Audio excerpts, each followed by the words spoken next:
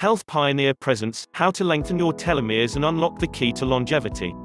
If you are new to this channel, hit that subscribe button and turn on your notification bell for more relevant topics on health. Forget, you're only as old as you feel, or age is just a number. Soon, the saying on everyone's lips might be, you're only as old as your telomeres are short.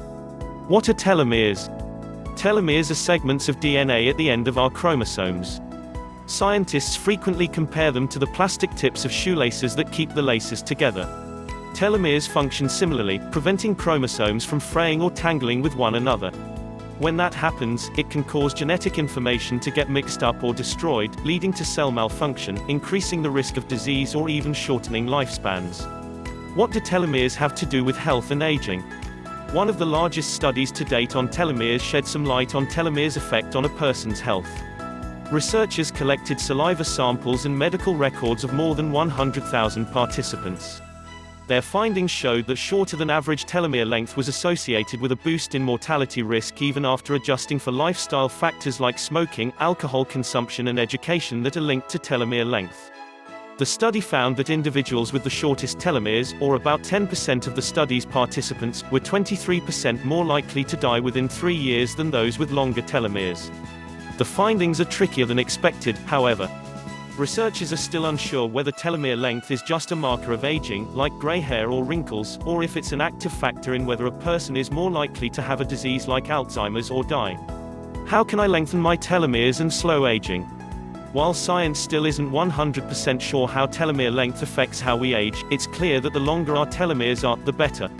The good news is that there are a variety of lifestyle changes you can make today to lengthen your telomeres. 1. Control and reduce stress. Several studies have linked chronic stress to shorter telomeres. 2. Exercise regularly.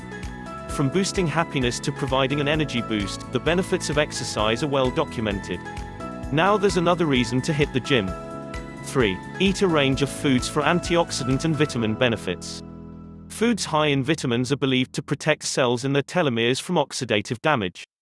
A diet high in antioxidant foods, like berries and artichokes, can slow down aging and help prevent or reduce cell damage. 4. Practice meditation and yoga. It's time to unroll your mat and unwind. In a 2014 study among breast cancer survivors, those who participated in mindful meditation and practiced yoga kept their telomeres at the same length. The telomeres of the control group, who did neither activity, shortened during the study time. Meditation comes in different forms for different people. For me, it's healing prayer and setting aside time to reflect. For others, it might be setting an intention for the day, attending a regular yoga class or spending time with loved ones without the distraction of technology or work.